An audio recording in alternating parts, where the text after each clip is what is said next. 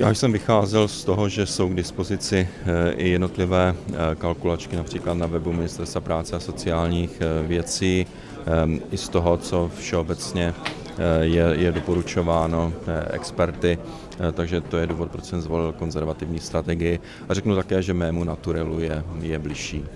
Pokud jde o tu druhou věc, 36. vlastně skončí ta možnost pro lidi starší 35 let. Eh, někteří lidé z vlády uvažují o tom, že by to, nebo říkají, že by to vláda mohla. Jaký je váš názor uvolnit, eh, znovu, znovu to otevřít, nebo už je to opravdu eh, deadline, za který už to nepůjde nikdy? Zákon mluví jednoznačně, že pro lidi starší 35 let ta možnost skončí 30. června letošního roku. Neuvažujete tedy o tom, že jste otevřeli?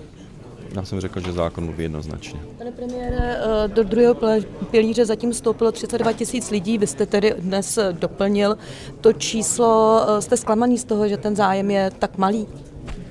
Samozřejmě, že jsme očekávali ta čísla vyšší, na druhé straně tento druhý pilíř je předmětem tak špinavé antikampaně politicky motivované, že nemůžeme být zase úplně překvapeni vlastně zatím spokojený s tou vládní kampaní? Ona se teď rozběhla v minulých dnech? My jsme vědomě koncentrovali eh, naši vládní kampaň, protože máme eh, omezené prostředky. Je to informativní kampaň eh, do závěru toho rozhodovacího období. Vycházeli jsme i z toho, že většina občanů se při nějakém rozhodnutí zpravidla rozhoduje i na poslední chvíli.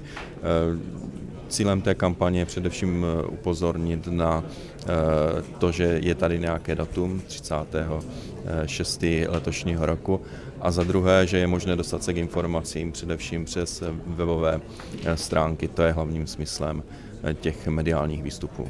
Pane premiére, dění v proč ten počet lidí, kdy třeba po volbách, že sociální demokracie vyhrožuje, že to zruší, lidé tomu logicky nevěří, je nějaká šance, proč by tomu měli věřit i přes tyhle ty výhrušky? Eh, já jsem přesvědčený, že eh, za prvé platí to, co se stalo již několikrát v případě sociální demokracie. Vzpomeňte si, jak eh, vyhrožovali, že v případě vítězných voleb zase sníží věk odchodu do důchodu a podobně. Neudělali to, něco jiného je něco, něco lacině vykřikovat před volbama, něco jiného je provádět reálný politický krok a za druhé jsem přesvědčen, že, že ten systém naše země potřebuje. Eh, závislost na státem organizovaném průběžném systému je u nás extrémně eh, vysoká a dříve nebo později, já doufám, že to bude dříve, že to bude teď, eh, stejně nějaký kapitálový prvek důchodového spoření v naší zemi bude.